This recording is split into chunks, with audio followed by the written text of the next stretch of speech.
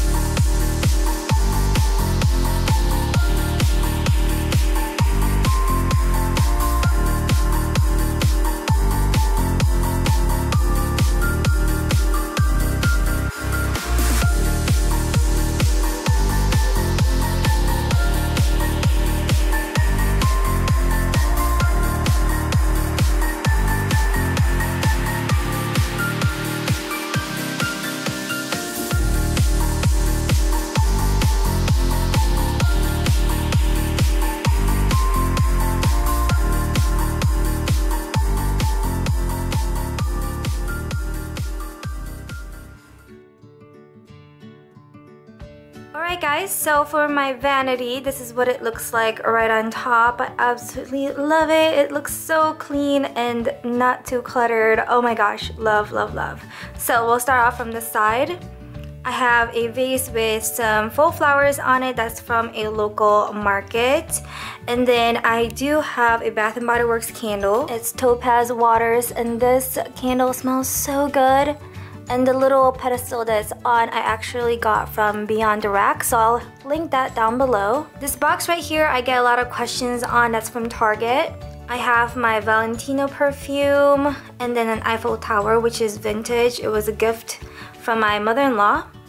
And then these gorgeous little guys right here, that's from Pottery Barn or PB Teen actually.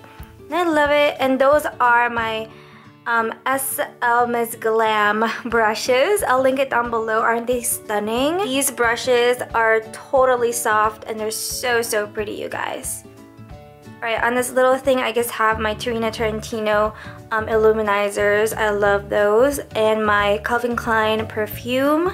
Now, this gorgeous mirror I actually got from HauteLook a few years ago. But you can find something very similar to it from like Hobby Lobby or TJ Maxx. But yeah, I got mine from HauteLook. And then I have a mirror right here. I actually got that from TJ Maxx. And aside of that, I have my Benefit Moisture Prep Toning Lotion. And then this guy right here I got from Target. Inside of it, I just have some Q-tips. And then of course my Daisy perfume and then my Valentino lotion and then another vase and full flowers from Michaels. Last but not the least, I have my PoshBox, which I will link down below. And over on top of it, I just have my, my Allegory um, lipstick holders filled with all of my favorite lipsticks.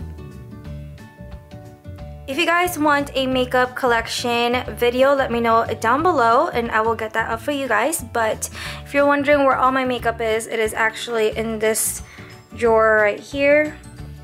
So there's a sneak peek of it.